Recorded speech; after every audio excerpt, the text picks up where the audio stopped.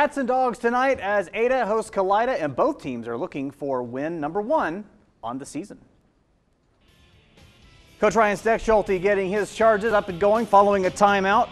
Ada having a 22 to 4, I'm sorry, Kalida with a 22-14 lead at this one. Aiden Warnicki to Gabe Hovest, and he will knock down the three-pointer to extend that Kalida lead, but Ada not going away. Connor Frazier feeding Brandon Hole in the post with the nice play there, and then Zach Vonderembse misses, but Evan Rubke is right there to put it back, and that would give Kalida the lead at halftime. They would go on for the 56-41 win against Ada tonight.